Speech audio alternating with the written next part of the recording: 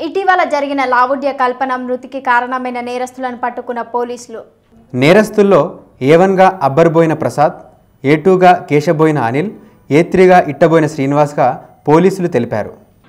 Siddipet police commissionerate పరిధిలోని Osmanabad division ఉస్- ఉస్మానాబాద్ సర్కిల్లోని అక్కనపేట పిఎస్ పరిధిలో ఈ నెల ఎనిమిదో తారీఖు రోజు రాత్రి పది గంటలకు అక్కనపేట మండలానికి అక్కనపేట మండలం కేశనాయక్ తాండకు చెందిన లౌడియా గంగ్ గంగ్యా నలభై సంవత్సరాలు అతను ఫిర్యాదు చేసిండు.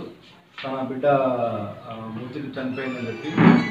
దాని ప్రకారము ఎనిమిదో తారీఖు రోజు crime number eight by nineteen under section four twenty three naught six IPC section three clause one clause R clause S clause three clause two five A of SC and ST PO amendment act two thousand fifteen case నమోదు చేయడం జరిగింది.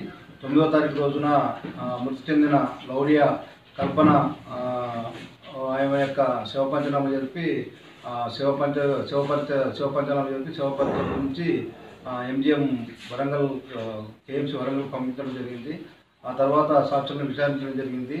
ఈ విచారణ తర్వాత ఈరోజు ఉదయం ఈ నేరస్తులైన అబ్బరమైన ప్రసాద్ ఇరవై నాలుగు సంవత్సరంలో అతని AR constable ARPC number one ninety eight Jayashankar Gopalpalli district A two వచ్చేసి కాసపైన అనిలు ఇరవై సంవత్సరాలు అతని దుబ్బడి విలేజ్.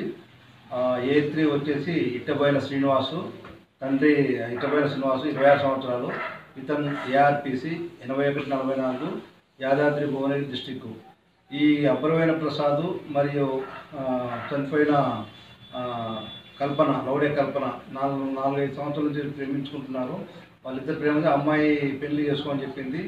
ఈ ఇట్టపోయిన మన ప్రసాద్ అభయవాణి ప్రసాద్ నేను ప్రేమించుకొని పెళ్ళి చేసుకుంటా అని చెప్పి కులం తక్కువ అని చెప్పి అన్నందుకు ఆమె పెళ్ళి చేసుకోలేదు. అయితే ఆ మధ్య వాళ్ళ ఫ్రెండ్స్ కూడా ఆమె ఈ కల్పన ఆమె వరంగల్లో మన వరంగల్లో నిత్యశ్రీ హాస్టల్లో ఉంటుంటూ లక్ష్మీ ఆర్థోపెడిక్లో పనిచేస్తున్నది. అక్కడ కూడా విచారించడం జరిగింది.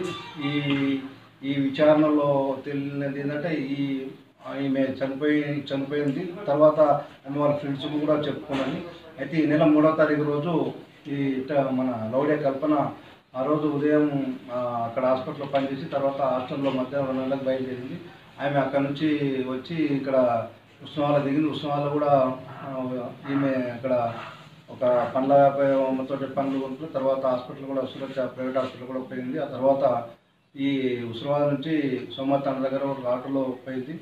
ఆ తర్వాత అక్కడికి ఈ యొక్క ప్రసాద్ కూడా ఇద్దరు ఇద్దరు వచ్చి కలుసుకున్నారు.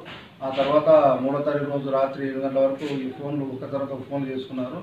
ఆ తర్వాత ఈమె ఎనిమిదో తారీఖు నాడు శివమే కనపడ్డది ఈ కేసులో అప్రూవైన ప్రసాద్ మూడో తారీఖు రోజు లౌడే కల్పన ఇద్దరు పెళ్ళి చేసుకోవాలని చెప్పి కల్పన అడిగింది. నేను చేసుకున్నాను నేను మా యొక్క బంధువుల అమ్మాయి చంద్రన్న చేసుకుంటా అని చెప్పి అన్నాడు.